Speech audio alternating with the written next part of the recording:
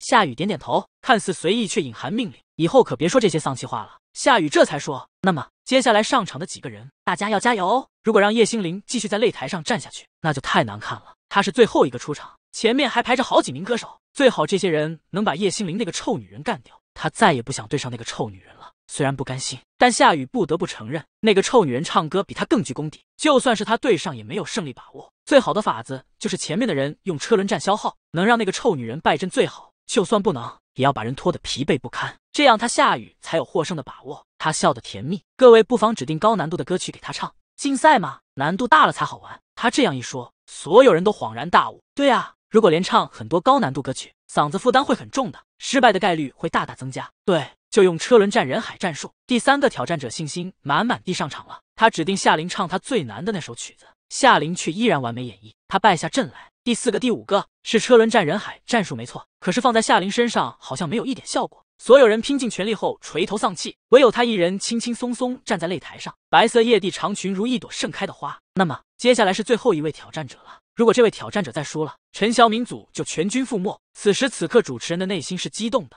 星云歌会创立以来，从未遇到过这种情况。如果陈晓明组全军覆没，那么叶星凌将会是历史上第一个从关头守到关尾的人。他会创造一个奇迹。那么，我们的小林能不能创造这个奇迹呢？下面有请他的最后一名对手出场。夏雨，夏雨现在的心情很不好，非常不好。他没想到前面七个废物队友都拿不下夏林一人，那个臭女人依然趾高气昂的站在舞台上，甚至气定神闲，晶莹光润的皮肤上连细汗也没有出。为什么？唱歌明明是一件很耗体力的事，他怎么可以这么游刃有余？装的，一定是装的。夏雨在心里给自己打气，握了握拳，摆出自己最完美的微笑上台。夏琳看着他，这是重生以来的第二次了吧？在舞台上面对这个心思歹毒的妹妹，这次他又要玩什么花样？叶心凌，你选歌吧。夏雨柔柔弱弱的说，那模样博得不少人好感。小玲，你可别欺负小雨啊！主持人半开玩笑的说，你们之前就对决过一次吧？真彩香水和心之翼香水发布的时候，那时候小林赢得很漂亮，这次也会那么强势碾压吗？夏雨神色苍白。这个主持人真是哪壶不开提哪壶。夏琳似笑非笑，那要看夏雨这次会不会装病了。上次夏雨装心脏病发作的事闹得太大，名声都要臭了。要不是凤坤回国做笼中蝶，转移公众视线，再加上楚琛拼死做了很多公关，而多多少少还有粉丝们念及她是夏琳疼爱的妹妹，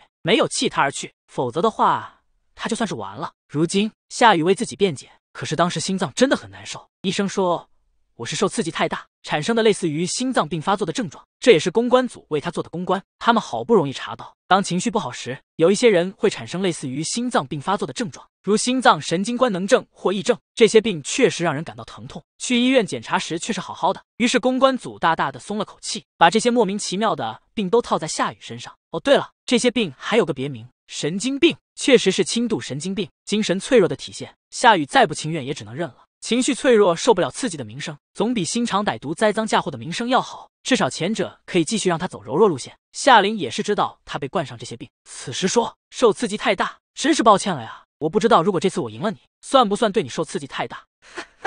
台下有观众笑了出来。这个夏雨太不要脸了，以为神经脆弱是万能的，他还没唱歌呢，就搬出这块挡箭牌，以为叶心凌就会有所顾忌，不敢赢他了。就是他旁边是个叶心凌粉，直接把手卷成喇叭状，大声喊起来。小林加油，干掉他，创造奇迹，破纪录！干掉他，创造奇迹，破纪录！许许多多观众加入了呼喊的队伍。你们怎么能这样？有下雨粉气愤的反驳：“小雨身体本来就不好，你们还刺激他，身体不好不要来比赛啊！神经病就是神经病，不会回家养病。”马上有人骂下雨粉气的都快要哭了。台上的夏雨也渲然欲泣，一副受了天大委屈的表情。我还没强势碾压呢，他就这样了。夏林蛋笑着回答主持人：“现在我有点犹豫，要不要直接弃权认输？如果赢了夏雨，他有心脏病发作怎么办？”夏雨被他嘲讽，气得不行，却无法发作，只好说：“叶心凌，请你拿出全力来，这是对对手最起码的尊重。全力，我怕你受不住。”夏林还是淡淡的：“夏雨肺都要气炸了，我不会受不住。”那好，玻璃指尖，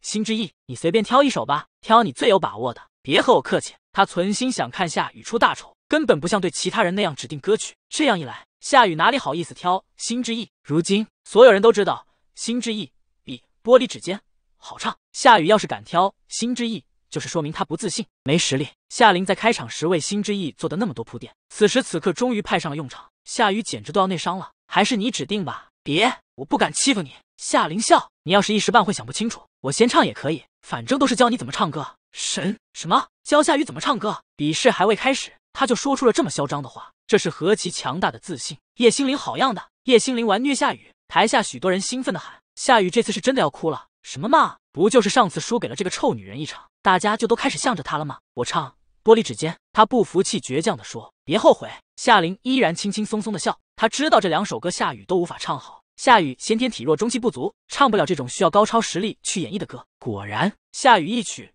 《玻璃指尖》只是勉强能听而已，表现平平乏善可陈，唱得很一般。台下有观众失望的说：“这就是天后夏琳的妹妹吗？唱歌天赋都不及姐姐的一小半。”就是啊，另一个观众太可惜了，还是叶心凌唱歌好听。而且你们发现没有，更有天后神韵。确实，不少人点头附和。舞台上，夏雨心中明明不开心的要死，却还得笑着：“叶心凌，该你唱了。”刚刚这个臭女人在每个人唱完歌后，都犀利的点评一番，让所有人都下不来台，还无话可说。她这次决定堵住她的嘴，让这个臭女人直接唱歌，别点评了。夏雨可不想丢人。夏琳看出她的企图，不过本来也没打算给她点评。之前夏琳对每个人的点评虽然是嘲讽，但一句句都到点子上，字字珠玑。如果他们肯听进去，那么会获益良多。可是对夏雨，抱歉，他上辈子已经当了一辈子烂好人了，这辈子可不想继续帮他。不过我还是会教你怎么唱歌的。他朝夏雨微微一笑，姿态优雅的提着裙摆，拿起了话筒，伴奏声如流水般铺开来，华美旖旎的旋律，迷幻飘忽，长长短短，奢华的浪漫。夏琳唱的是夏雨为他指定的单曲《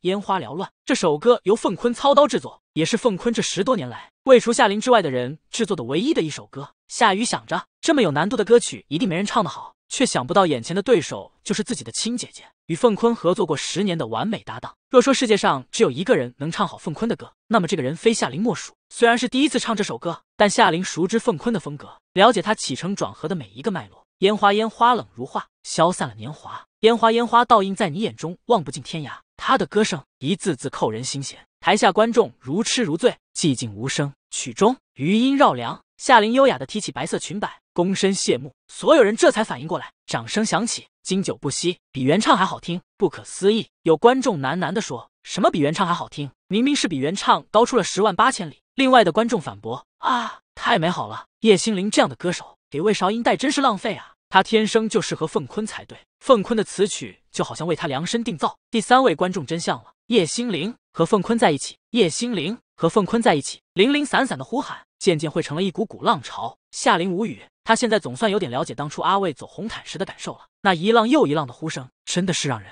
压力很大啊！我我已经和厉雷在一起了。他举着话筒，弱弱的说。现场的尖叫声和口哨声响成一片。天，这可是他第一次正面承认和厉雷的关系。今天下午不是还有小道消息说他否认了吗？眼前这情况很明了啊！哎呀，小林好样的，和 boss 要幸福，抛弃 boss 去帝皇，凤坤才适合你。我们家凤坤是阿卫的。现场整个混乱了，已经演变成。天意粉和帝皇粉，还有各种各样的艺人粉之间的大乱斗，每个人都打了鸡血似的兴奋，挥舞着双手，大声喊出支持的配对。夏琳虽然有很多舞台经验，但应付绯闻的经验显然不足，有点被大家的热情吓住，拿着话筒手足无措，有些心虚的看了凤坤一眼。主持人适时的跳出来，话筒递到凤坤嘴边：“凤哥，你怎么看？”凤坤含笑看夏琳，低沉磁性的声音如温柔的水流：“叶心凌，欢迎来帝皇。”私下里相处时，他叫他上辈子的昵称小玲，可在正式场合，他却叫他叶心灵。这是偶然，还是察觉出了什么才对他的保护？可惜他没有注意到。但凤坤这个提议简直让人惊悚，台下又掀起新的尖叫热潮。那个名叫琪琪的魏韶音粉大声喊：“我家魏魏怎么办？”女孩子的分贝太高，穿过一群人嘈杂的背景音，传入凤坤里。凤坤依然含笑，看了一眼台下，又看了一眼脸色黑如锅底的魏韶音，最后看夏玲，欢迎把阿魏也带来。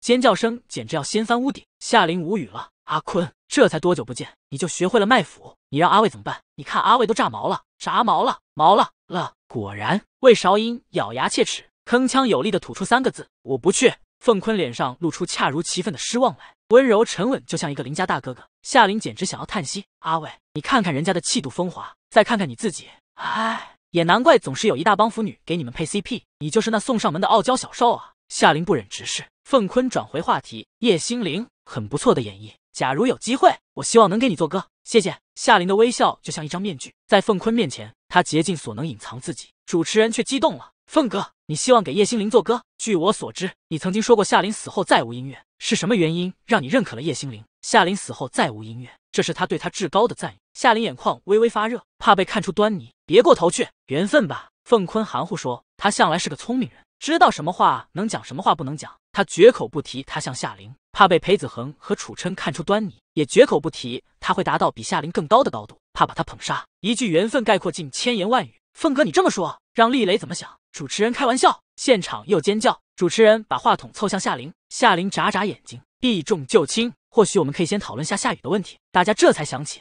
夏雨还在台上呢，一个人孤零零的站着，脸上的微笑几乎要维持不住。他楚楚可怜的说：“叶心凌，你唱的不错。”他想蒙混过关。夏琳唱的比他这个原唱都好听太多。可是夏琳并不那么容易放过他，笑盈盈的：“是啊，说好了要教你怎么唱歌的。”轻描淡写的一句话，却十足的腥风血雨。你不会唱歌吗？那我示范给你听。你别欺人太甚。夏雨渲然欲泣，怎么说话的？魏韶音又不高兴了。夏雨，你的乐感本来就不好，还不让人说了，哭有什么用？唱功又不是哭出来的，你自己回去听听。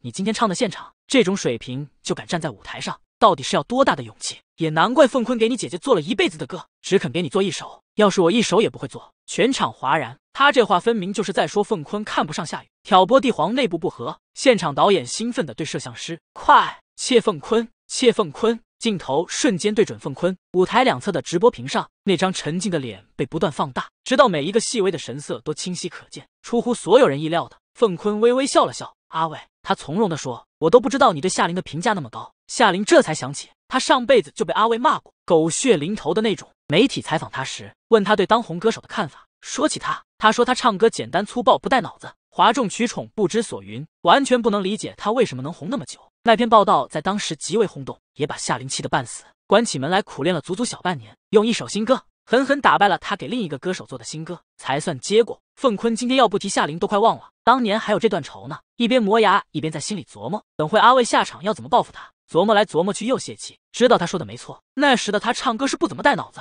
凭本能而已。其实这么多年，阿卫批评人的时候虽然刻薄，但哪句话是无中生有的？他最气人的地方，不就在于句句属实，让人想辩驳都无从辩驳起吗？而且，就算他现在重生了，活第二辈子了，也只有被他骂的份儿。他平日里在录音棚骂他还算少，他几时敢还口了？当年的破事儿，真的算骂得轻的，想想就心酸。夏琳老老实实收起报复他的心思，默默地站在原地，暗自给凤坤加油。快，阿坤，打倒那个妖孽，就指望你了。转念一想，还是不对，他现在是天意的人啊，就算在凤坤的队伍，怎么能胳膊肘朝外拐？心中纠结，痛苦无比。凤坤依然微笑着看阿卫。其实我一直很好奇，在你的眼里，有没有哪个歌手是比夏琳更出色的？阿卫一时噎住，从鼻子里冷哼一声。夏琳简直想为凤坤喝彩，不愧是老江湖，轻轻两句话就转守为攻，反过来把阿卫逼到了墙角。阿卫这人不但有身体洁癖，更有精神洁癖。要他昧着良心随便报个名字，说比夏琳更出色，他做不到。像他这样挑剔的人，连上辈子的他都看不上了。怎么可能看得上别人？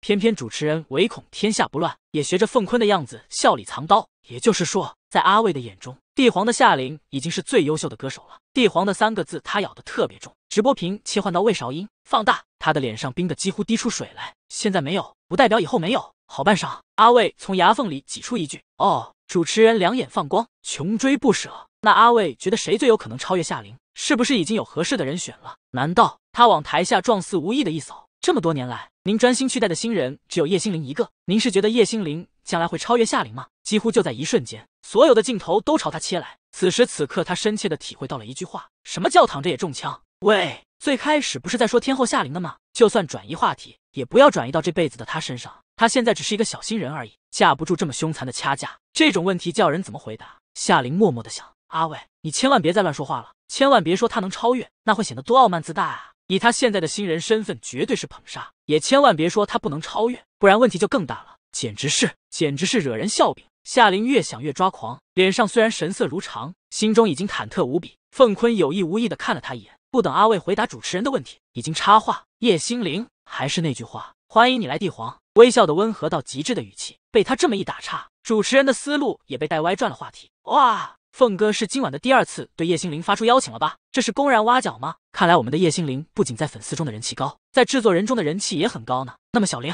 你要不要说两句？此时此刻，被和魏韶音齐名的金牌制作人凤坤先生二度挖角，你是什么心情？有没有觉得很感动？会不会去帝皇？连珠炮似的问题递过来，夏琳在心中暗自感谢凤坤给他解围。瞧瞧人家这救场技巧，再看看阿伟，算了，不看了，真是人比人气死人。他接过主持人的话筒。脸上露出恰如其分的微笑，带着一点点受宠若惊。很意外，凤先生会这样看重我。一直以来，您都是我很敬重的制作人，很多出自您手的歌曲，《海妖》《最后的黎明》《枯骨之花》，我都非常喜欢。能受到您的邀约，我很高兴。一边说，他一边瞥了一眼台上的魏韶音，发现他的脸色离抓狂不远。赶紧打住场面话，语风一转。不过很遗憾，我现在已经是天意的人了，大家都对我很好。阿卫也是个非常不错的制作人，我们一直合作的很愉快。我想短期内，不在未来的很长一段时间内，我都不会去别的地方的。您的好意，我只能心领了，谢谢。这个回答显然是在凤坤的意料之中，他本就是救场，并非真的要挖他回去。顺着他的说辞，他风度翩翩的点头表示理解，依然微笑。真是太遗憾了。不过叶心凌，他看了一眼魏韶音，又转头对他。我这里的大门永远为你敞开。魏韶音受不了了，凤坤，你不要老打小林的主意。我也说过，你可以一起来帝皇的。阿伟，对你也是二度邀约，诚意十足。凤坤笑得特别温和。阿伟又噎住，全场一片鸡飞狗跳。夏林忍不住用手揉了揉额头。阿伟，终于知道你为什么不愿意出席这类活动了。这要是对上凤坤这样的，你你简直就是被公然调戏的命。好半晌，魏韶音憋出一句话：“有夏雨在，我不来。”全场哗然。魏，阿伟，你这鄙视人也鄙视的太明显了吧？夏雨招你惹你了，不就是惹了你家小林吗？你至于这么睚眦必报吗？都上升到这种高度了。夏雨妆容精致的脸色一片苍白，眼中噙着泪水，摇摇欲坠。夏林简直看不下去，还装呢？他不耐烦的举起话筒说：“行了，夏雨，散了吧。我都教了你怎么唱歌了，你还站在台上看什么？等发糖吗？等发糖！”所有人都晕了。小林，你真有才，这是变着花样刺激夏雨啊！夏雨倔强的扬起头来，我不服，不服！夏林冷笑起来，两次。夏雨加上这次，你一共在舞台上输给我两次了，不服？行啊，用歌声打败我，我就怕你没这个本事。反正所有人都知道他们闹翻了，他对夏雨也不客气。夏雨输人不输阵，会有那么一天的。反正他赢不了了，不如说几句漂亮话，让人知道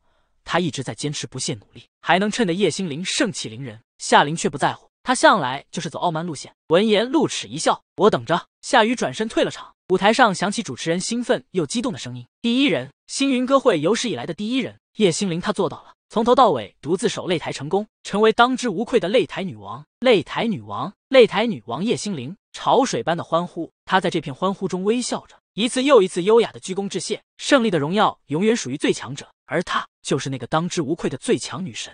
就连舞台上的制作人们也纷纷替他鼓起掌来。谢谢大家，夏琳微笑着，我会继续努力。五彩浪漫的肥皂泡和彩纸洒下来，笼罩她一身缤纷。她在这一片胜利的繁华簇拥中下场，转身去了后台。小林姐姐，有你的花。留守在化妆间的助理微微迎上来，递给她一束艳红如血的玫瑰。那玫瑰开得极好，带着露水，花瓣层层舒卷，暗香迷离，熏人欲醉。望着她，夏琳的心里升起某种预感。曾经有一个男人，在他每场演唱会结束后。总会派人送来一束红玫瑰。那是从花束间翻出一张卡片，黑底暗纹压花，果然上面用熟悉的笔迹勾勒出一只展翅欲飞的金色蝴蝶。他的手微微一颤，卡片掉在了地上。裴子恒，这只蝴蝶是他们的秘密约定。以前他说署名会被人发现曝光，便想出这样的暗号，告诉他什么东西是他赠送。可是他们说好的，这只蝴蝶只属于他们两人。可如今裴子恒。把它赠给叶心凌。第三人，他呆呆地看着地上的卡片，难受的不能呼吸。耳边微微的声音仿佛来自很遥远的地方。一二三四，八朵呢？哎呀，八朵红玫瑰的花语是什么？让我查查。咦，歉意，补偿。微微疑惑的闭了口。他依然望着地上那张小小的卡片，直到一只手捡起了它。那是凤坤的手。他低头看了一眼那卡片，他确信他认得那是什么。可他神色如常，纸递过来，给夏琳没有去接。他把那卡片放到桌上。凤坤，你在做什么？阿卫的声音。浩浩荡荡的人马涌进来，感情演播室已经彻底散场。其中阿卫一马当先插到他和凤坤之间，将他护在身后，然后怒视他：“我警告你，不要打小林的主意。他歌唱的再好也是天意的，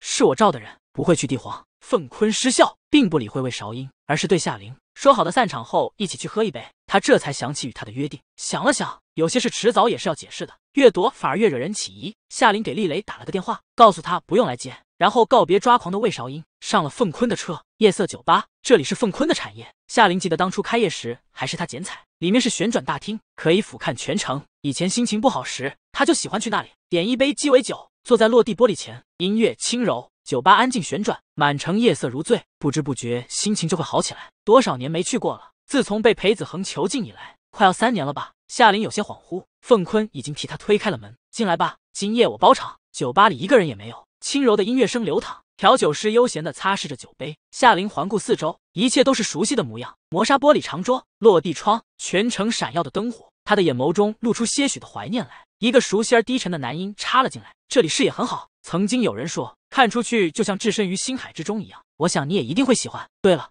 还有最近新调的覆盆子果酒，很美味。置身于星海之中，那是当年他说的，真怀念那种感觉，在别的地方体验不到。还有覆盆子果酒，他最爱的味道。他要了杯覆盆子果酒。”信步走向自己熟悉的卡座——冰雪王座。它是这里最独具匠心的设计，位于这座旋转酒吧外缘延伸部，一小块半封闭的空间，与酒吧主体只通过一条狭长的空中栈道相连。最特别的是，它的墙面和地板都是全透明的钢化玻璃，一脚踏上去如踏在虚空之中，脚下是遥远的城市，头顶是浩瀚的星空，惊心动魄的美丽。夏琳一直都很喜欢这个卡座，再没有比这更身临其境的星海。而且安静，很少有人会鼓足勇气穿过那条狭长而且渐行渐透明的高空栈道来打扰他。他走到熟悉的位置坐下，慢慢喝一口高脚杯中的酒，身心放松下来，思绪开始漂浮，想起许许多多的往事，开心的、不开心的，桩桩件件就好像旋转的星辰般将他包围。凤坤也端着一杯酒走到他对面坐下，八十层楼的高空，透明玻璃地板，你敢坐在这里？胆子很大。他低头看了一眼脚底灯火璀璨的城市，离得很远，仿佛另一个浩瀚神秘的世界。而他随着酒吧的旋转，在其上缓缓飞翔，轻轻晃了晃手中的酒杯，说：“这里清静。”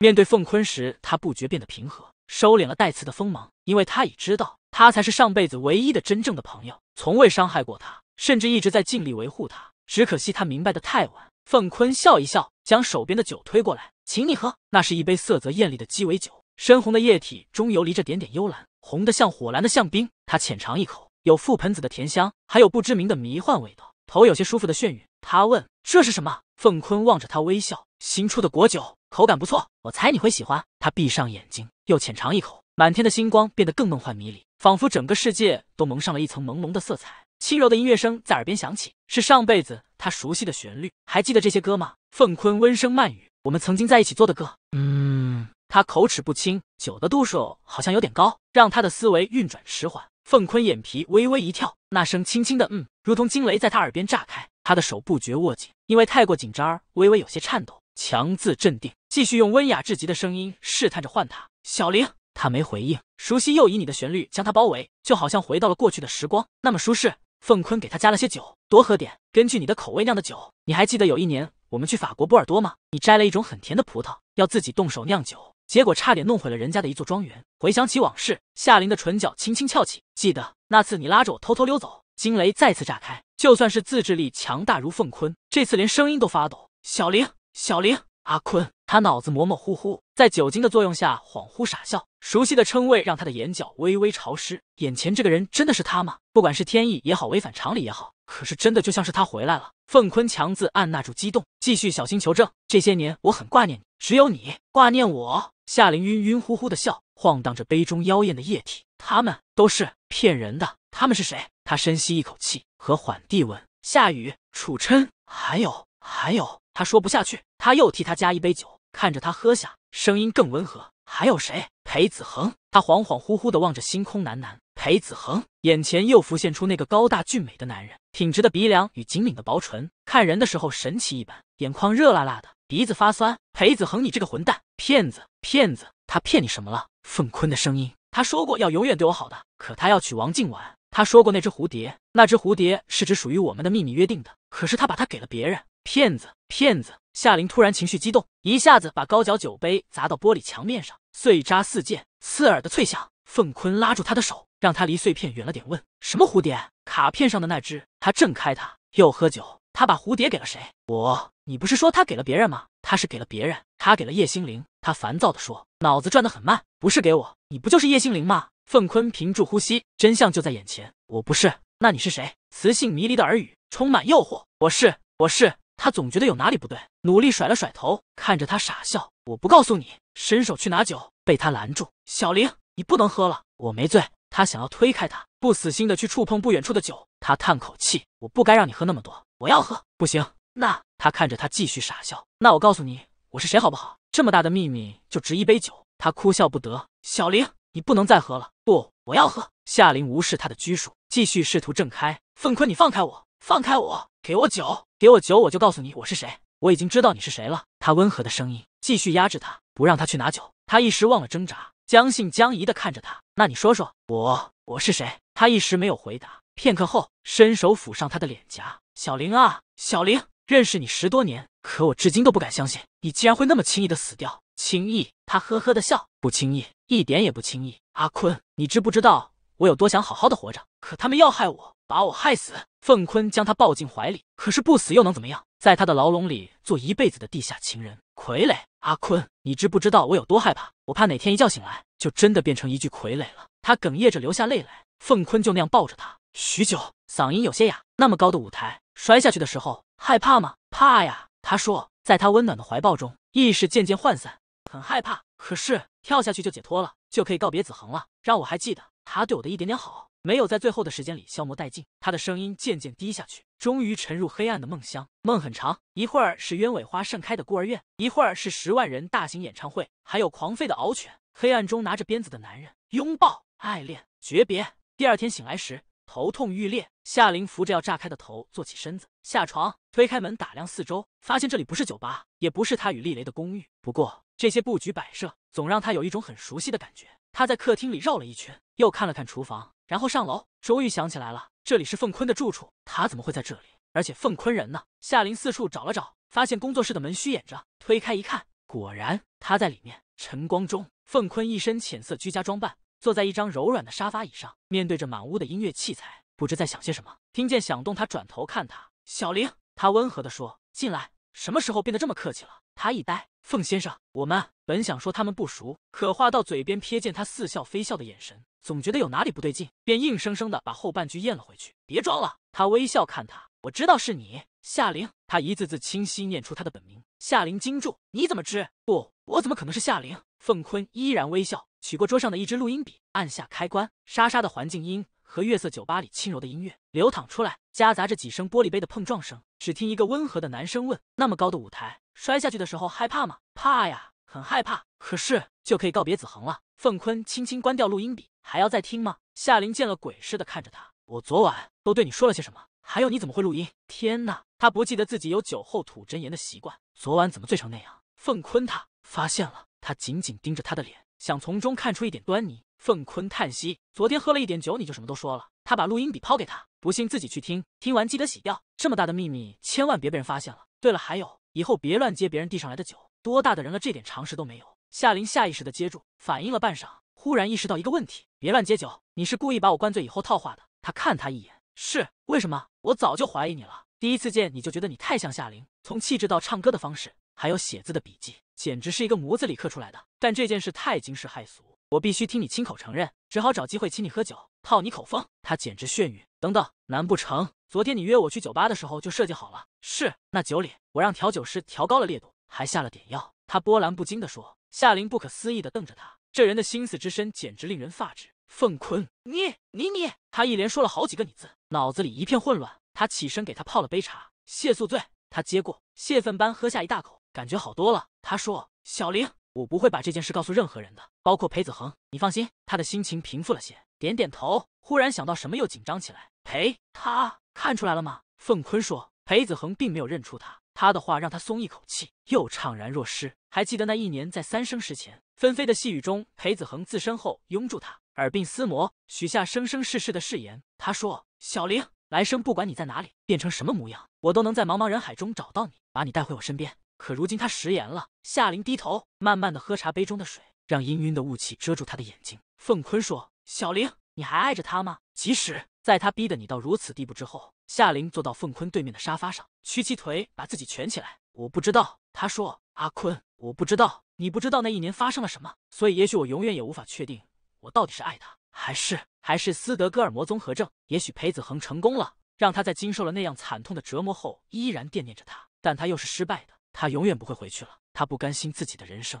被这种可怕的精神疾病所控制，他不愿成为他的奴隶。到底是尚未消磨殆尽的爱情，还是斯德哥尔摩综合症病情？他不想去区分了。再多的往事也只看追忆，再也回不去。我现在和丽雷在一起，挺好。他说。凤坤静了一瞬，才说：“真是不可思议，你居然会有喜欢上别人的一天。当初你和裴子恒那么好，简直是天底下最分不开的一对。”夏琳有些苦涩：“谁说不是呢？没有人能明白裴子恒对他的意义。对他而言，他不仅仅只是一个恋人。”更是他生命中唯一的神奇，至高的信仰是他从梦魇般的深渊中拯救了他。生命中最初的记忆是在孤儿院，那时夏琳还很小，在一条很长很长的走廊中奔跑。夜很深，四周又黑又安静，纵横交错的树影就像无数张牙舞爪的怪兽，狞笑着要将他吞噬。他跌跌撞撞，哭喊着，想要找到大人，告诉他们他的妹妹夏雨脸色青的好吓人。跑了好久好久，没有遇到任何一个人。迷失在那条走廊的深处，怎么也跑不出来。他至今都还记得那种深入骨髓的恐惧和无助，是他们构成了他十二岁以前的童年。那时的夏琳每天都在担心夏雨的病情。医生说夏雨患的是严重的先天性心脏病，如果不进行系统的手术治疗，是活不长的。可高昂的手术费用，她们姐妹根本就负担不起。夏琳向孤儿院哀求，然而院里经费紧缺，根本就筹不出这笔钱。院长用一种和蔼而坚决的语气对她说：“小玲。”你的心情我理解，但你妹妹的病情很难治，要花掉的钱不是你能想象的。而且就算花了很多钱，也不一定就能治好。小玲，院里养你们不容易，除了你们还要养很多别的小朋友，你要替别的小朋友想想。如果把所有的钱都拿去给你妹妹看病了，那别的小朋友要怎么办？我才不管别的小朋友，我就要治好夏雨。夏玲又哭又闹，院长说她太不懂事，把她关进禁闭室，整整三天见不到夏雨。出去的时候，她来不及洗澡换衣服，就往夏雨的地方跑。推开门，看见四五个大孩子。围着夏雨又笑又跳，唱着自编的歌谣：“丑八怪，短命鬼，丑八怪，短命鬼。”而夏雨，她那孱弱的妹妹，正拼命把自己缩成小小的一团，蜷在墙角，闭着眼睛，捂着耳朵，浑身发抖，肩膀一抽一抽的在哭泣。夏琳只觉得脑袋嗡的一声，冲上去与那群大孩子厮打起来。那次的战况很惨烈，当老师闻讯赶来将他们拉开时，所有人都一身一脸的鲜血。他在老师的怀里愤怒的挣扎着，咆哮着，尖叫着。继续奋力去踢前方一个大孩子的身体，那个大孩子被他的疯狂吓住，一屁股跌坐在地上，眼里充满惊骇。后来好几个大人才把他制住。夏雨拖着病弱的躯体，踉踉跄跄的走过来，一边抽抽噎噎的哭，一边拿出一块被人踩脏的手帕，小心翼翼的帮夏琳擦拭脸上的血污和泪水。他们抱在一起哭成一团，院长和老师们也抹眼泪。这次他们没有罚夏琳，孤儿院里拨出一部分的钱来为夏雨做治疗，让夏雨病情的恶化程度有所延缓，但也只是聊胜于无罢了。医生说这孩子活不过十岁，事实上能活到现在已经是奇迹。夏琳眼睁睁的看着他一天天衰弱下去，走向死亡。无数个夜里，他从噩梦中惊醒，害怕夏雨就这样悄无声息的离他而去。夏琳总是光着脚从床上下来，穿过寂无人声的走廊与阴森恐怖的天井，偷偷摸到孤儿院另一端的病残儿童监护区夏雨的床边，接着狭小窗户外映进来的昏昧不明的月光，看着夏雨熟睡的脸，听着他浅浅的呼吸，才会安下心来。夏琳一整夜一整夜的守在那里，快天亮的时候，再冒着露水和霜寒回自己房间去。那些年里，夏琳总在想，如果这世界上真的有神器存在，为什么听不见他的声音？为什么不来拯救他和夏雨？他所求的是那么微小，只希望夏雨健健康康，就像其他孩子一样平平安安长大。为了这个愿望，他可以付出一切，他的心、他的身体、他的性命和灵魂。别的孩子都笑夏琳，说这世界上哪有神奇，那是童话书中编出来哄人的瞎话。孤儿院的孩子大多早熟，没人会相信那些不着边际的故事。他们总说，想要实现愿望的唯一办法就是被人领养，找到一对好的养父母比什么都重要。别以为孤儿院是个很单纯的地方，为了这个目的，孩子们勾心斗角。就连夏琳也知道，比起神奇来，养父母才是实实在在的依靠。只要有好心人愿意收养他和夏雨。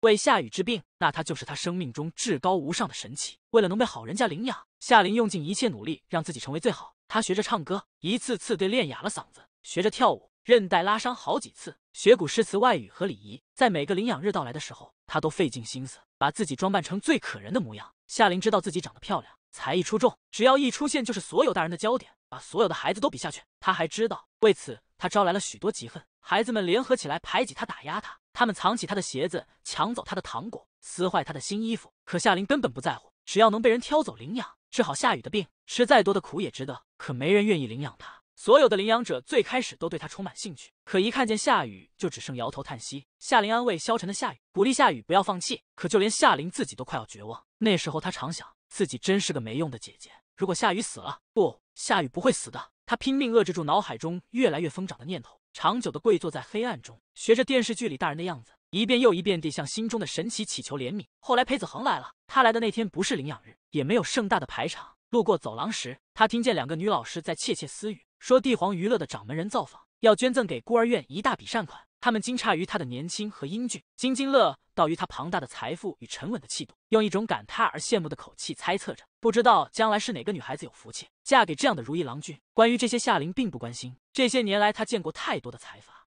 他们打着慈善的名义捐赠大笔大笔的钱财。然而，孤儿院需要钱的地方太多了，摊到夏雨的治疗基金上，永远只是杯水车薪。他沉默地穿过走廊，来到院子里，阳光刺眼。望着不远处自由奔跑和玩耍的孩子们，他有些出神的想：为什么生病的偏偏是他的妹妹？一颗皮球砸到他的额头，有身强力壮的大孩子跑过来推他一把，滚远点，碍事鬼！夏琳狠狠把皮球砸向他，顿时有三四个孩子冲上前与他厮打成一团。那一年他已经十二岁了，不再是那个只知道胡乱踢咬的小夏琳。常年的打架经验不仅让他没被他们打倒，甚至抽冷子反击，让他们狼狈不堪。老师很快赶来，孩子们一哄而散。夏琳也想跑，然而仿佛感觉到了命运似的，不经意抬头看到了一个人，一个年轻而英俊的男子，穿铁灰色西装，站在二楼院长办公室的落地窗前，正静静的俯瞰他。春末夏初，阳光映在他不动声色的脸上，宛若神奇。望着那张俊美的脸，夏琳略微失神，一不小心踩到什么，脚底传来尖锐的痛。夏琳，你又和人打架？气急败坏的声音。他扭头看见教务主任正黑着一张脸，一路小跑来。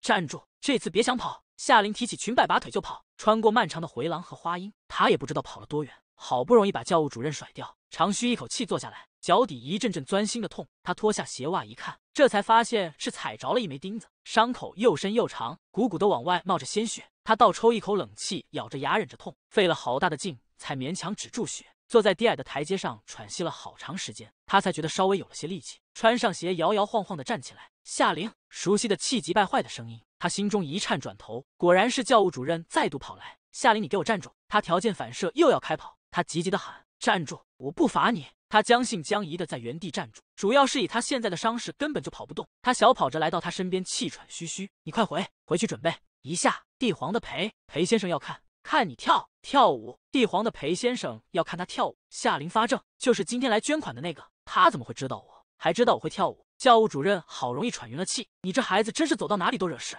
刚刚你打架的时候被裴先生从楼上看见了，他问了院长两句，院长怕他觉得咱们孤儿院的都是野孩子，就夸你会唱歌，舞也跳得好。没想到裴先生就说要看看，这不，院长叫我来找你。脑海中浮现落地窗前挺拔的身影，不动声色的脸。神奇一般，夏琳微微晃了下神，就听教务主任催促：“还愣着干什么？快去啊！”夏琳，我告诉你，你这次是因祸得福了。裴先生那么有钱，你要把他哄高兴了。兴许你妹妹的病就有指望了。他的心脏急促的跳动起来。真的，我什么时候骗过你？教务主任瞪他：“帝皇裴氏，你总知道吧？新闻上天天演，全世界都排得上号的豪门。这次来的裴子恒先生是新任的族长当家人，不是以前那些来捐款的小集团代表可以比的。夏雨的治疗费对别人来说是天价。”对他来说，也就是一句话的事。心脏跳动更快，夏琳暗自握拳，指甲掐进肉里。为了夏雨，他什么都可以做，何况只是跳个舞。他二话不说就要往放五一的教室跑。刚跑出一步，就觉得脚下一阵钻心的痛，一个踉跄，差点摔在地上。唉，教务主任一把扶住他，当心点，要是摔伤了怎么跳舞？他好不容易站稳，脚下的疼痛一阵强过一阵，简直要冒冷汗。教务主任看他脸色，你没事吧？要是不舒服就说话，身体重要。那舞也不是非跳不可，没事。他勉强挤出一个笑，刚刚是听到消息太高兴了，走路不小心而已。教务主任放心地点点头，看着他离去。一路上，夏林强忍住钻心的疼痛，走得很快很稳。到了舞蹈室，他避开老师们，自己换了舞衣和舞鞋，把原本沾血的鞋子藏进柜子里。他们给他上妆，又叮嘱了很多注意事项，比如要表现的乖巧，不要惹裴先生不高兴等等。他都如常应了，没人发现异样。这场舞他非跳不可。教务主任说他有钱，为了让他救夏雨，哪怕只有千分之一的希望。他也必须拼尽全力去尝试。他不仅要跳，还要跳得比平时更好。舞蹈安排在午宴上，老师们还在殷殷叮嘱夏玲：这场宴会都是为了你。裴先生本来没打算留下吃饭的，为了看你跳舞才留到现在。你可要好好表现，不要给孤儿院丢脸。他深吸一口气，上台。跳舞是他的强项，身体舒展，高难度动作一个接着一个，行云流水一般。起初还觉得受伤的脚底一阵阵的痛，可后来就感觉不到这痛了。沉浸在舞蹈的世界中，他拼尽此生所学，完美发挥。落幕时，他看见台下的那个年轻男人，缓缓抬起手掌，轻拍两下。他是满意吗？还是出于礼貌？夏琳心中忐忑，直觉他就是那个裴先生，忍不住多看几眼，却无法从那张喜怒不形于色的脸上看出半点端倪。报幕员低声催他下场。夏琳满怀心事，梦游一般往回走，坐在更衣室里不出来。不知过了多久，更衣室的门被人打开，还是教务主任。夏琳，你怎么还在这里？衣服都没换，快点，要来不及了。裴先生要见你，裴先生要见他。他吃惊的看着教务主任，心脏狂跳起来。什么事？教务主任的脸上绽出止不住的笑意。他说要领养你，领养我。那小雨呢？他急切的问。想要领养他的人太多了，可一听说他必须带着夏雨，都无一例外的选择了放弃。教务主任脸上的笑容更大了。你们姐妹的事，院长都对裴先生说了。裴先生愿意把你们一起领走，还答应给夏雨好好治病。他的声音在发颤。真的，我骗你干什么？他笑着推了推夏玲，我就说你这次是因祸得福吧。你们姐妹总算是苦尽甘来了。裴家可是超级豪门，亏待不了你们。以后过上好日子了，不要忘了孤儿院，有空就回来看看。他使劲点头，觉得一切都是做梦一般不真实。教务主任又催促他快换衣服，临时接了个电话说算了，不用换了。院长催我们快点过去，让裴先生等太久就不好了。跟我来。他转身朝外走去，夏玲跟上。忽然觉得脚底一阵剧烈的疼痛，这才想起还带着伤。刚刚跳舞的时候不觉得，现在放松下来简直要命。怎么了？教务主任走了几步，见他没跟上来，问他，咬牙说没事，暗自觉得脚上黏糊糊的，大约伤口又在流血。不过他低头看了眼自己的双脚，从外观上看不出什么来，索性把心一横，一步步的强撑着跟上去。已经到了这个地步，无论如何也不能在关键时刻掉链子。好不容易到了贵宾休息室，院长正与那个年轻男人说话，看见他，热情的拉过去介绍裴先生。这就是夏玲了，这孩子命苦，不过很听话懂事，绝对不会给您添麻烦。又低头教育他：“小玲，以后跟着裴先生要乖乖的，叫你做啥就做啥，知道不？”夏玲使劲点头，忐忑的望着那个年轻男人，生怕他不要他。那个年轻男人对院长说话：“我想和这孩子单独谈谈。”院长带着教务主任出去了，房间里只剩下他们两人。夏玲小心翼翼的打量他自己的领养者，他坐在一张深色的单人沙发椅里，靠窗，双手随意交叠。姿态闲适，有细碎的阳光洒在他的脸上，身上明灭不定，衬得他高深莫测又迷人。不得不承认，这是他十二年的生命中见过的最好看的人。你叫小林是吗？他开口，声音很温和。夏林点点头，紧张得说不出话。他微笑起来，不用怕，小林，我说过要领养你，绝对不会反悔。那夏雨呢？他冲口而出。夏雨也是一样。年轻的男人说：“我已经让人去办你们的领养手续了。你会给夏雨治病的，对不对？”他急切地问。当然。他温柔地看着他。以后你的愿望我都会实现。夏琳大松一口气，只觉得长久以来的一块大石落了地，鼻子一下子酸起来，眼睛热辣辣的，几乎哭出来。谢谢您，谢谢，谢谢。他笑一下，目光更温和了。不用对我说谢谢，你很特别，值得这一切，值得这一切。他愣愣的看着他，他并没有多做解释，只说：“小玲，过来让我看看。”夏琳听话的走到他面前，他却微微拧了眉：“你的脚怎么了？”啊！他心中一惊，想起脚上的伤，他看出来了，下意识的后退一步：“没，没事。”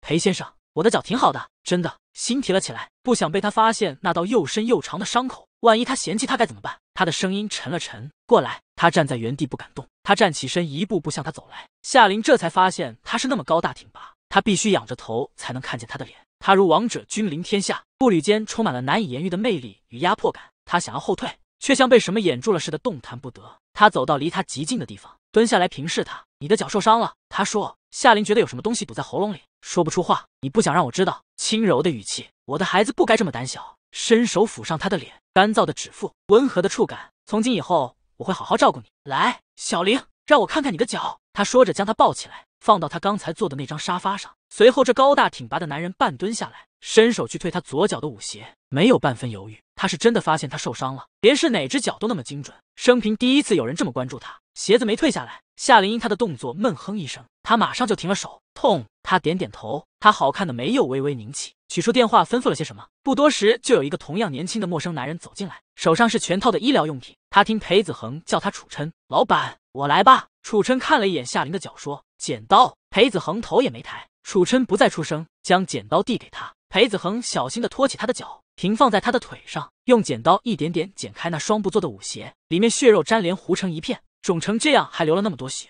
他沉沉地说：“抬之前就受伤了吧？为什么还要跳？”我夏琳低声：“我怕您不高兴。”是他指名点的他，如果惹他不高兴，他的妹妹夏雨该怎么办？他手上的动作停住了，抬起头来看夏琳，眼神莫测，许久才说：“小玲，你记住了，从今以后。”你是我裴子恒的人，你不用勉强自己做任何事，更不用在乎其他人高不高兴。你在我的监护之下，万人之上，可以为所欲为，知道吗？我只有一件事会惹我不高兴。他缓缓地说：“我不喜欢你小心翼翼地看人脸色。”是裴先生，我叫裴子恒，法律上是你的监护人，你可以叫我裴哥哥。是裴哥哥。他笑了，好看到极致的温柔的微笑。小玲，你不知道你有多美。他说：“终有一天，我会让你化茧成蝶。”那是十八年前的初遇了，直到今日，隔了两辈子。夏琳还记得如此清晰，如裴子恒所言，她是在他的掌心中慢慢化茧成蝶，变成了那个骄傲肆意、光芒耀眼的夏琳。全世界都倾倒于她的美丽，是她给了她新的生命。原本夏琳以为自己会永远跟在他身边，没想到后来拨云诡谲，所有的爱恋化为鲜血淋漓的痛楚。他亲手造就了他，又亲手毁了他。时至今日，他心灰如死。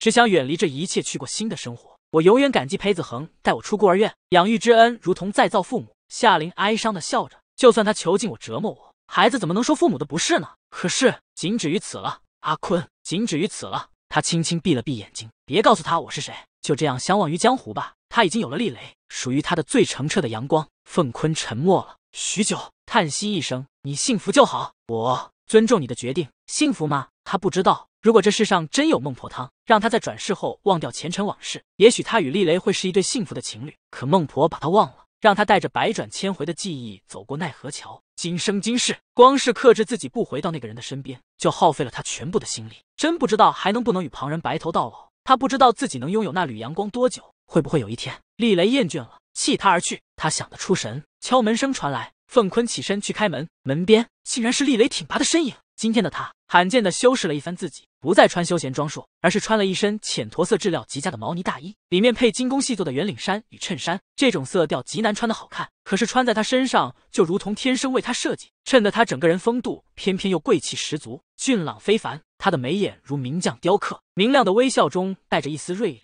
对凤坤，我来接小玲。凤坤饶有兴味的看他一眼。印象中，厉雷穿的随性，不是这么注重装扮的人啊。这算什么？示威吗？看来他对小玲是真的上心。他侧身让厉雷进门。其实昨夜两人就有一次短暂的交锋。凤坤从酒吧把夏琳接回来，没多久，厉雷就带着几个保镖上门，想要接小林离开，还盘问了许久他与小林到底是什么关系。当时凤坤说：“我很欣赏小林的唱腔，所以请他喝酒。”多聊了会儿，他喝醉了。我不知道他住在哪里。她一个女孩子总不能睡在酒吧，我就把她接过来暂住一晚。等明天一早她醒了就送她回去。厉雷不放心帝皇的人，当场就要接夏琳走。凤坤说夜里有风，他喝了酒本来就不舒服，你要是抱他出去容易着凉。又再三保证自己不会动小林一根手指头。他不像楚琛那样是裴子恒的忠犬，而且在业内人品口碑俱佳。厉雷这才勉强相信了他，样样作罢。然而昨夜离开时，他的眼神让凤坤到现在都有点背脊发凉。凤坤把这只恋爱期的花孔雀让进工作间，夏琳正在抱着一杯茶出神发呆，扭头看见，一怔之后才想起问：“boss，你怎么来了？”叫厉雷，厉大 boss 不高兴，当着外人的面，他的称谓怎么能这么生疏？凤坤暗自微笑起来，双手抱胸，依着门边看好戏，也不知道是不是宿醉没醒。夏琳的反应有些迟钝。好的，boss。凤坤别过脸去，实在止不住一脸的笑意。厉大 boss 更不高兴了，半蹲下来，把他手里的茶杯拿开。抓着他纤小白皙的手，看着他的眼睛，一字一字从牙缝里蹦出，叫厉雷。夏琳盯着眼前俊美的容颜看了半晌，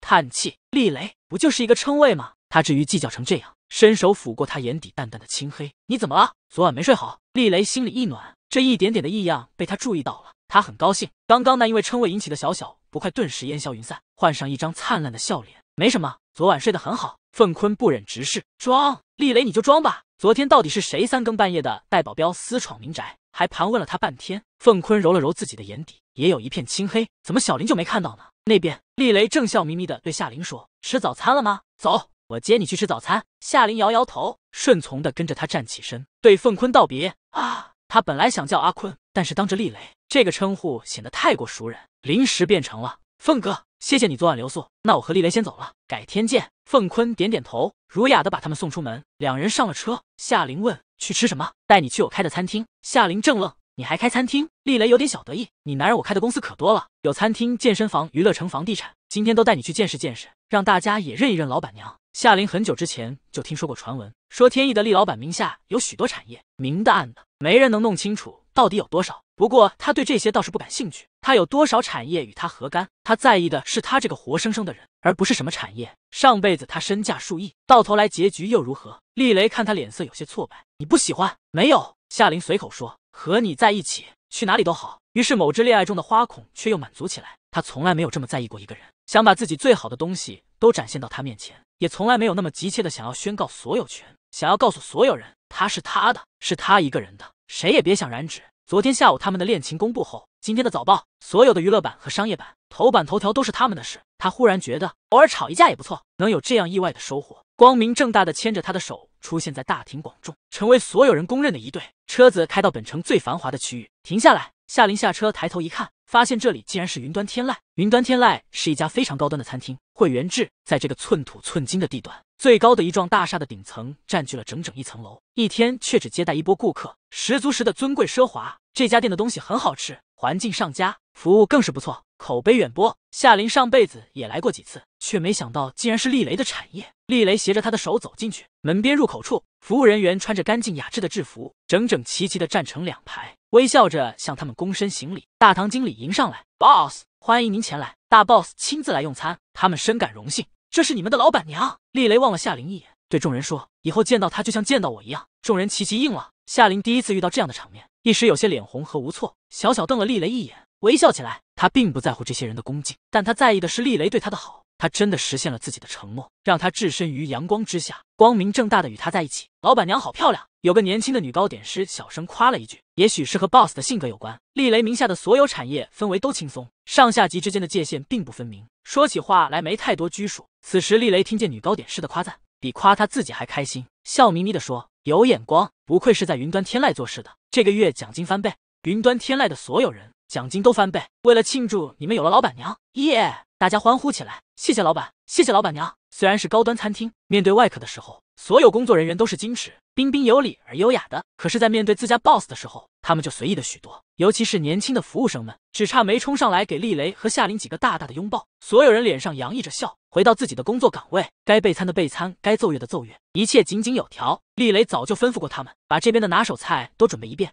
虽然是早餐，端上来也是满满当当的一桌子，各式各样的精致糕点和小食，看得夏琳眼花缭乱。吃得完吗？她弱弱的又土土的问。难怪她震惊，这是把餐厅菜单上的所有早餐都送上来了吧？这一家店她真的来过，里面有几样餐点都是限时限量供应的，能不能吃到全凭运气。可是此时此刻，全都齐刷刷的堆在她桌上，这就是奖金翻倍的威力吗？跟着土豪混真好。他开始觉得有那么多产业也不错。厉雷笑得见牙不见眼。一个劲往他盘子里夹菜，都尝尝，很不错的。夏琳望着堆得小山一样的盘子，又开始怀疑了：你真的是云端天籁的老板？是啊，怎么了？厉雷不解的眨眨眼，你你这把所有好东西不分青红皂白堆在一起的品味，是怎么能开出云端天籁这种品味不俗的店来的？厉雷才不管他心里的吐槽，有钱就是任性，替他加了一轮又一轮的菜。夏琳敢说，这恐怕是云端天籁开到现在吃过的最暴发户的一顿饭。可是对象是老板。还有奖金翻倍这个大杀器，所有服务人员都面不改色，甚至带着发自内心的，而不是职业化的微笑，替他们忙碌完了这整整的一顿早餐。夏琳吃的整个人都撑了，瘫在椅子上走不动。厉雷托腮看着他，累了，休息一会儿，消化消化，等会带你去看我的健身会所。他趴在柔软的沙发椅上歇了好一阵子才缓过来，觉得中饭和晚饭都可以省了，带着些警惕问厉雷：“你名下还有其他的餐厅吗？”厉雷失笑：“有，不过今天逛不完，可以改天带你去。”夏琳这才松了口气。他磨磨蹭蹭的拖着步子，随他去了健身会所。没办法，吃的是实在太撑了。他的健身会所与云端天籁一样，也是非常高端的场所，会员制，来来往往的看上去都是有钱有身份又懂得享受生活的人。不少人看见厉雷都笑着打招呼：“优丽二少，最近春风得意啊，终于找到心上人了，从此要花海回头，收心洗手做羹汤了。”在认识夏琳前，厉雷的花心是出了名的风流浪子，身边从不缺人，对他的事迹，夏琳并不是没有耳闻。此时微微瞥了厉雷一眼，厉雷赶紧说：“小林，我现在为你守身如玉。”又回头瞪那个与他开玩笑的男人康老四，还想不想要高级会员卡了？怎么说话的？惹得周围一群人都笑起来。小林是吗？我听过你唱歌，那首小鸭子很可爱，玻璃指尖才不错，走心，很有品。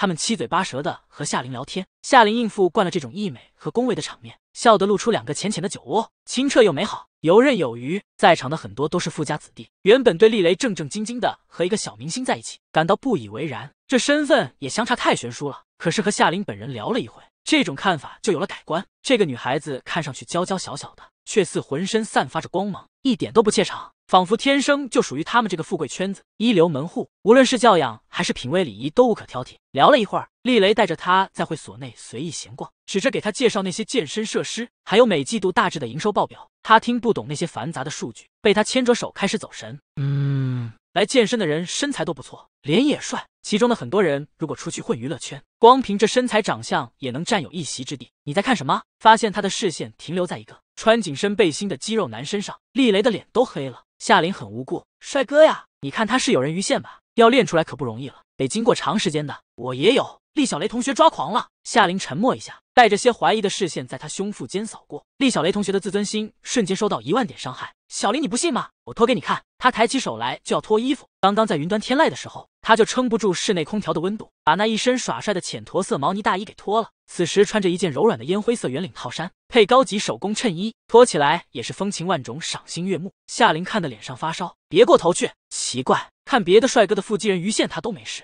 怎么单单看他一个脱衣服的抬手动作，他就忍不住心跳加速？你居然不看！见他侧过头，厉雷更受伤了。我夏琳深呼吸，再深呼吸，努力把脸上的潮红退下去。快穿上，我知道你身材好。最后三个字细如蚊呢。其实他虽然没仔细看过，但那天在床上他拥抱他，他多多少少还是摸过。想到这里，夏小林同学忍不住又脸红。嗯，他的肌肉匀称结实，如一头优雅又充满力量的猛兽。要说完美程度，恐怕比刚刚那个有人鱼线的男人有过之而无不及。不行。不能再想了，脸红的夏小林同学强迫自己打住，默默的跑开了。来到不远处的露台上，被清新的风一吹，才稍微冷静了些。露台下方是个游泳池，许多年轻男女在池中游泳，其中不乏身材出众的。可夏琳比来比去，嗯，还真都不如厉雷。可是他怎么会觉得厉雷的身材那么完美？明明他虽然摸过，但并没有看得太仔细。他怔怔的出了一会神，厉雷追出来，你又背着我看别的男人。他有些不高兴的扳过他的身子，不让他去看泳池的方向。他已经开始后悔了，怎么好死不死带他来健身会所？这个地方太危险了，到处散发着荷尔蒙的气息。不行，以后约会要把这类场所统统列为禁地。夏琳被迫转身面对他，此时的他已经把圆领罩衫脱了，只穿一件白衬衫。可就这样简简单单的一件衣服，却被他穿的那么好看。领口扣子解开两颗，隐隐露出里面结实的胸膛来。夏琳强迫自己视线上移，面对他的脸，我。我看他又怎么了？他嘴硬了一句，看见厉雷瞬间变黑的脸色，怕他又抓狂开始脱衣服，赶紧说：“那那我们走吧。”也也没什么好看的，真的。厉雷怀疑的盯着他啊，你说那些男人的身材没什么好看的？是啊，都不如你。夏小林同学这样想着，脸上又开始发烫了。厉雷满意的点点头，嗯，这才乖。他也不愿意在这里逗留太久，万一他的小林看上了别的男人。他岂不是哭都来不及？他从善如流的拉着他出去，继续视察别的产业。这一天，厉雷名下的几家主要产业都被他带着他逛了一圈。所有员工和往来的顾客都知道了，他是他的女友。这些产业的老板娘名正言顺，无可动摇。各式各样的眼神投在他身上，有羡慕的，有嫉妒的。但无可否认的是，他和厉雷已经宣告了属于彼此的主权，从此他们是一体的，不容外人插足。最后逛完一家房地产公司，夏琳忽然想起一件事。对了，怎么？厉雷问我。夏琳踌躇一下，还是小声说：“我手上有一套别墅，打算处理掉。那是几个月前裴子恒为毒哑他的事道歉，派楚琛送来的礼物。原本他把房产证丢在一旁，早就忘记了。可是如今巡视了厉雷的房地产公司，忽然想起这个事来。厉雷早就知道裴子恒送过他别墅，当初两人还为这事吵过一架。后来小林不喜欢他碰这些敏感的话题，他也就尽量小心翼翼，不再触及。如今听他提出要把裴子恒的别墅处理掉，厉雷整个人都愉悦了。好。”尽快处理掉，我可以帮你。他名下有房地产公司，随便找个人对交易流程都熟得很。夏琳却说：“我自己来吧。”他不想什么事情都依靠他，太过依赖的后果很可怕。上辈子是前车之鉴，这辈子就算喜欢上什么人，他也必须保持自己的独立。厉雷不太开心，却没有坚持。他知道自己在小林的心里，就算有点分量，也还远远没到生死相依、不离不弃的地步。他必须小心的照顾他的感受。生怕一不留神就失去他。之前吵架的事已经给他敲响了警钟，如果惹他不高兴，他随时都有可能抽身而退。这对厉雷来说是比什么都可怕的事。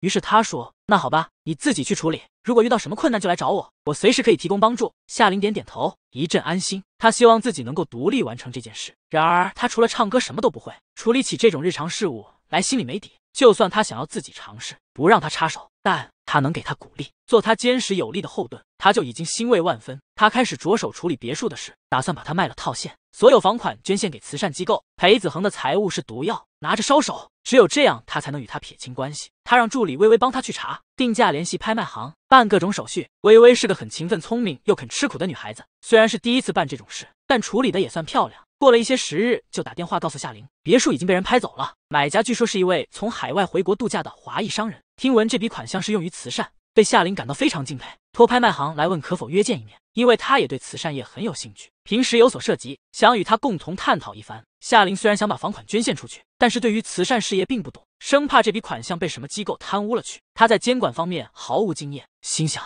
能多听听别人的意见也好，就答应了邀约。司机老陈送他去，同行的还有助理微微与四名保镖。到了地方，环境十分优雅别致，檀木陈设，云石堆叠的大屏风，池子里游弋着一尾一米多长的锦鲤。侍者引夏琳去包间，却把微微与保镖拦在外头。对不起，叶小姐，里面的那位先生只邀请了您一人。夏琳有些意外，没想到对方这样大的架子。转念一想，却又理解，能在拍卖会上拍下如此昂贵的别墅的，怎么可能是小人物？然而他有他的坚持，我的身边不能离人。他说：“麻烦你转告里面的先生一声，我需要带一名助理与两名保镖进去。如果他觉得为难的话，那我们改天再约。”自从他上次被裴子恒劫持后，身边就一直有保镖跟着，明里暗里，总之不会离人。这是厉雷千叮咛万嘱咐的事。他虽然觉得他有些小题大做，但既然答应了，就会做到。侍者有些为难：“叶小姐，里面的先生是我们的铂金会员，他约人一直是这规矩。”夏琳转身就走，身后传来一个客客气气的声音：“请留步。”他停住脚步，转头望过去。只见包间里出来一名中年男人，头发梳得一丝不苟，一身考究西装，干净整齐。他的声音不卑不亢：“